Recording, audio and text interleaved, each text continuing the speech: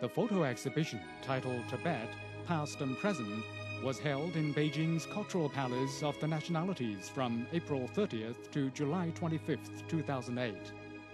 The exhibition was jointly sponsored by the United Front Work Department of the CPC Central Committee, the State Council Information Office, the State Ethnic Affairs Commission, and the government of the Tibet Autonomous Region with the assistance of the Cultural Palace of the Nationalities and the Tibet Exhibition Center.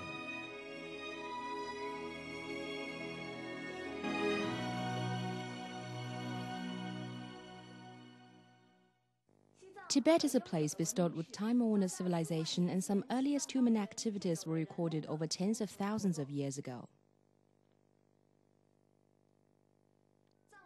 In the 7th century, Tibetan leader Songtsen Gampo united all tribes who resided in Qinghai Tibet Plateau and set up the Tubo regime with capital in Lhasa.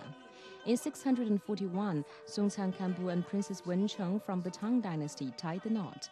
In 710, Triad Jotsam married Princess Jincheng of the Tang dynasty. Thereafter, 191 business contacts and eight meetings have been held in the 213 year long exchanges.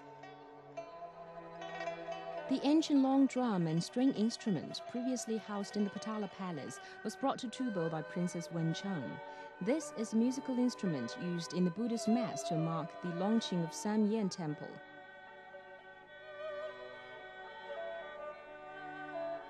The painting Emperor Taizong meeting the Tibetan envoy portrays the Tang Emperor Taizong's reception of Tubo's envoy Gatung Tsan, who came to ask for marriage of Princess Wencheng on behalf of Songtsen Gampo.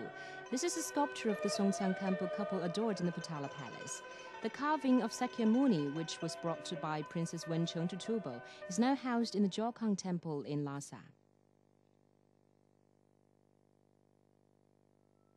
In early 13th century, Genghis Khan set up the Mongol Khanate north of China and the Tibetan monk leaders soon began their friendly exchanges with the new empire. In 1247, at the invitation of Mongolian General Duan, Gongga Gyaltsen, an eminent monk with the Sakya sect, took his nephew Pakba to Liangzhou to meet Duan. After discussion, the terms of Tibet's submission to Mongolia were settled.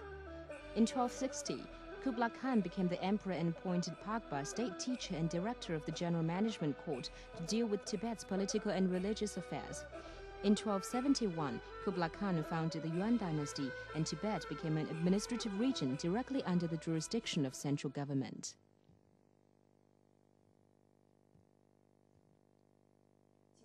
In addition to succeed Yuan dynasty's control over Tibet, Ming dynasty government developed its governance over the region by building local administrative and military setups in Tibet. The political system containing different rankings such as Wanhu, Qianhu, or Baihu was further strengthened. Tibetan High Lamas also received the appointment from the Ming Emperor as the Great Merciful Buddhist King, the government also conferred titles of State Initiation Tutor, Promotion Prince of Virtue, and Guardian Prince of Doctrine to Tibetan Lamas. Tibet also paid tributes to the main court and received rewards from it.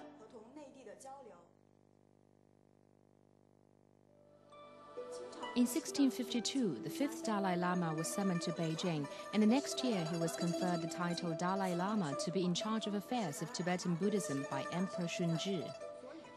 The Panchen Lama was granted an imperial gold edit book and gold seal in 1713 for a formal recognition of his status as Panchen Erdeni by Qing dynasty.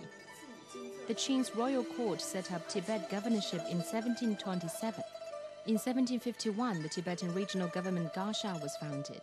In 1793, the Qing government published an important royal decree of Article 29, which clarified regulations in regional personnel and financial field.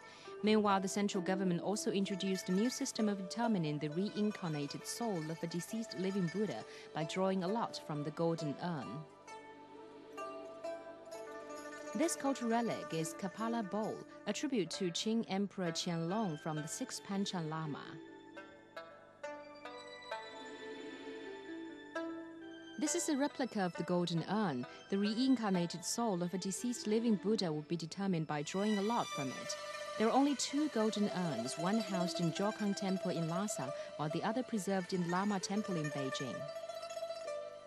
This is a decree that records the fifth Panchen Lama was conferred the title from Qing Emperor Kangxi. This is the sixth Panchen. In the sixth year of Emperor Qianlong's reign, he was enthroned in Tashilhunpo Monastery. The sixth Panchen Lama passed away at the age 42 in Huangci Temple in Beijing. This is the text of imperially approved ordinance for the more efficient governance of Tibet. The below is a notice informing the Qing government minted coins in Tibet, including a photo of the ancient coin's image.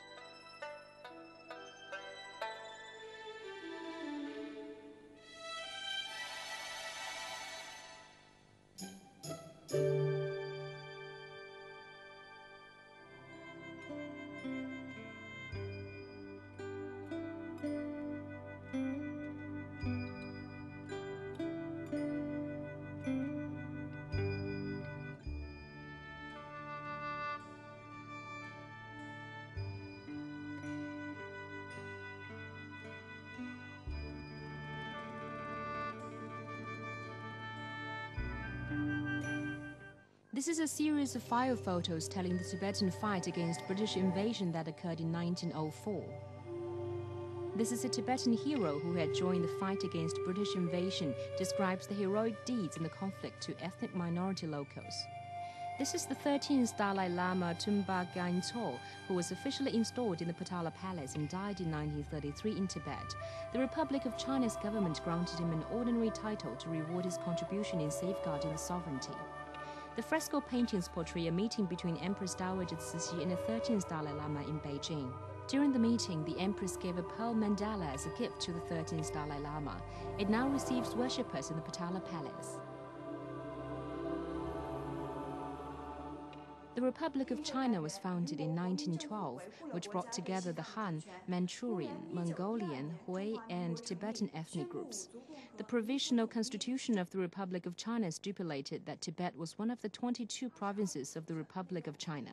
During the period, both the 13th Dalai Lama and the 9th Panchen Lama were granted the honorific titles. In 1929, the central government established the Mongolian and Tibetan Affairs Commission to exercise sovereignty in Tibet.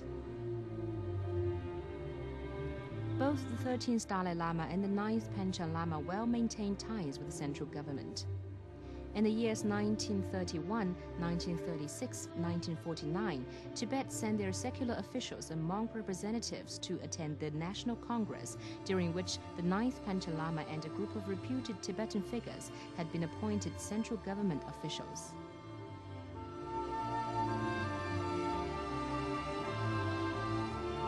The photo was taken in 1940 ahead of the official installation ceremony of the 14th Dalai Lama.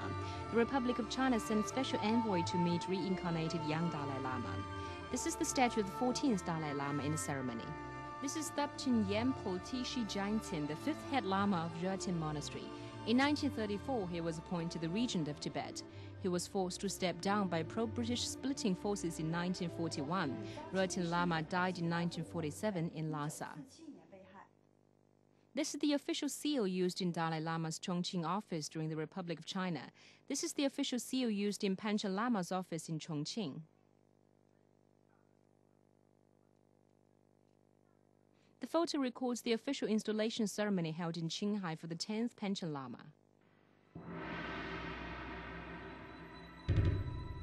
Before 1959, Tibet had long been a society of feudal serfdom under the despotic political and religious rule of lamas and nobles. Now let's take a look at the dark society under the rule.